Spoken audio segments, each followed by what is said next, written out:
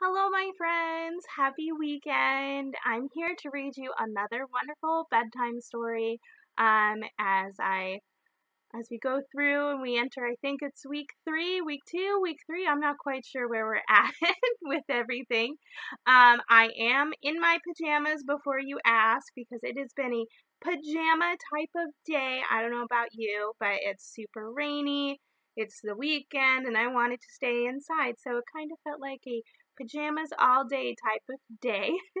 Today we are reading a new book that I picked up at Target. I believe it is a Target exclusive, so I think you can only buy it that there. But it is called Little Joe Chick-a-Pig, a story about following your dreams. And it was written by Brian Calhoun, illustrations by Pat Bradley and Brian Calhoun, and it was published in 2018 by Studio Fun International. Now, I heard that there is a video game that this is also related to. I'm not quite sure, um, but it is a very cute book that I wanted to share with you all and to help remind you to follow your dreams no matter what age you are. They use the phrase chick a pig in this book a lot, and thankfully, they actually define it in the front for us. So a chick-a-pig, noun, chick-a-pig, plural noun, chick-a-pigs. An animal hybrid that's half chicken and half pig. And before any of my students ask, I can guarantee you this does not exist in real life. This only exists in the world of imagination. All right, so without further ado, let's read this book together, shall we?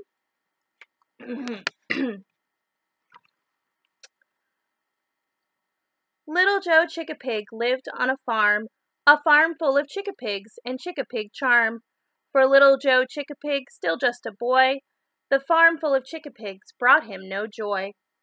He dreamed of new places beyond the fields, sailing vast oceans with swords and with shields. He hoped he'd find courage to follow his heart, but how could he do it? How could he start?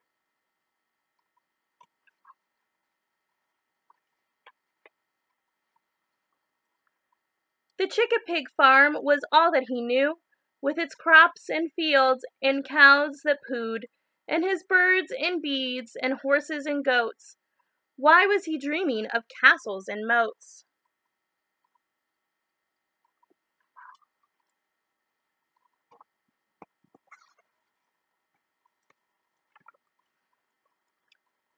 Joe had an old grandpa, brave and bold, a chick-a-pig hero who broke the mold.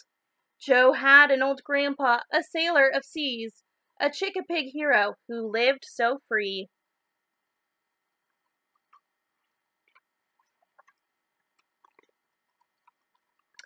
But how? How did he go? How did he do it, and how did he know to follow his cart against the tide? How did he do it? The young chick-a-pig cried. I'll tell you a tale, his mother said. I'll tell a tale before I put you to bed. Grandpa back then, he was scared too. Grandpa back then, he did not know what to do.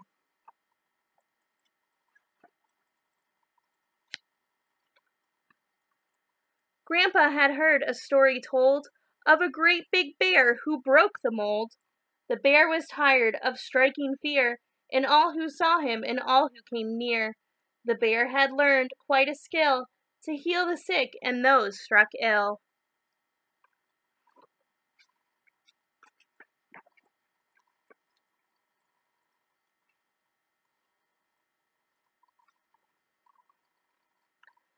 A doctor he became, my son, to heal the wounds of everyone, and those who used to run away now stood before him every day.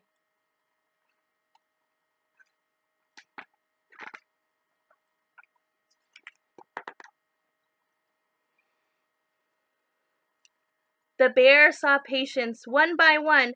Never again would anyone run. The bear became a friend, you see, to every creature beneath the trees. But how? How? How did he go? How did he do it, and how did he know to follow his heart against the tide? How did he do it? the young chick-a-pig cried.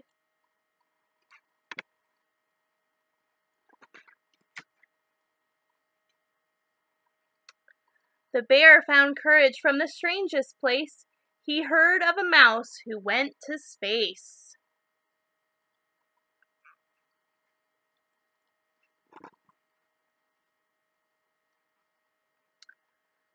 The mouse, she traveled to the moon and Mars. The mouse, she traveled amongst the stars. Her ship, it soared from earth to space, but in that world she found her place. But how? How? How did she go? How did she do it? How did she know? To follow her heart against the tide. How did she do it? The young chick-a-pig cried.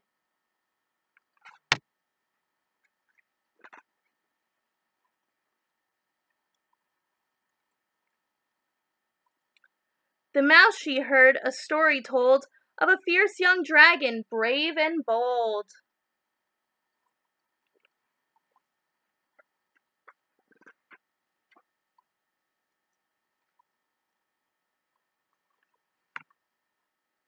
The dragon was known across the land.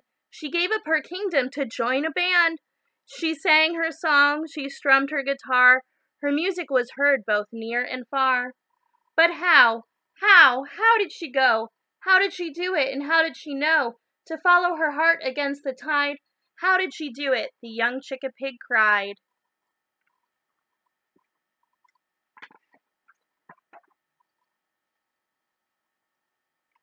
There was a warrior from that land back before the dragon's band.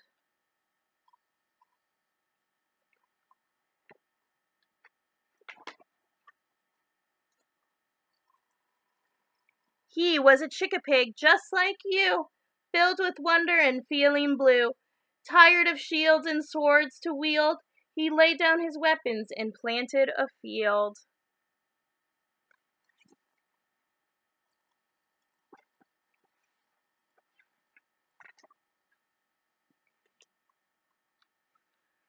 The Chick-a-Pig farm became all that he knew, with its crops and fields and cows that pooed, and birds and bees and horses and goats, and never a thought of castles or moats.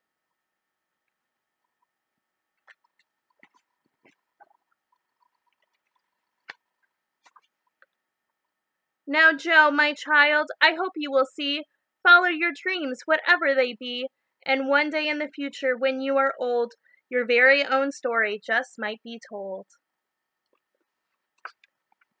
All right, friends.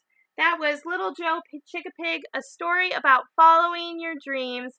And I hope it reminds you that no matter what your dream is, no matter how big or how small or how goofy some people might think it is, it's your job to go out there and get it, and people will support you and love you along the way. I hope you're having an excellent weekend. I can't wait to see you all on Zoom next week. I miss you all so much. Have an excellent rest of your weekend, and I'll see you soon. Goodbye, my friends.